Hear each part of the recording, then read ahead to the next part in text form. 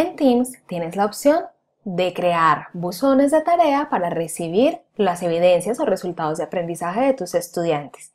Pero además de esto puedes crear rúbricas de evaluación para poder realizar una retroalimentación de manera objetiva y basado en los criterios de evaluación planteados para tu curso. Para realizar tu rúbrica de aprendizaje, te puedes dirigir a la parte superior en la barra de herramientas y seleccionar la opción de tareas.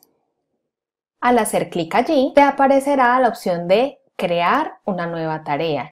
Vamos a hacer el buzón de tarea para nuestra primera entrega. Vamos a poner taller 1, rol del estudiante virtual.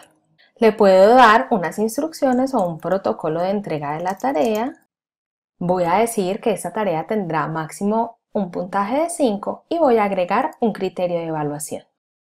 En la opción de agregar criterio de evaluación es la opción que nos permite crear la rúbrica en Teams. Voy a seleccionar la opción de crear un nuevo criterio de evaluación. Por lo tanto, puedo dar entonces un título al criterio de evaluación. En este caso son los criterios de evaluación de la rúbrica, vamos a poner. Puedo agregar alguna descripción si así lo requiero y de una vez aquí me da la opción de tener los ítems y los diferentes niveles de los criterios de competencia y de evaluación que vamos a revisar en las entregas de los estudiantes. Yo debo tener a la mano para iniciar entonces mis criterios y empezar la gestión de los mismos. Copiarlos y pegarlos aquí e ir nombrando. De esta manera voy copiando y pegando de mi archivo los diferentes niveles de competencia que va apropiando el estudiante.